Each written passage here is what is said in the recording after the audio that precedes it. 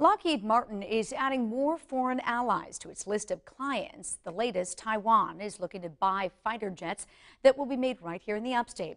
In this original report, we talk with the company today about how the new production line puts Greenville on the international stage. The F 16 is the world's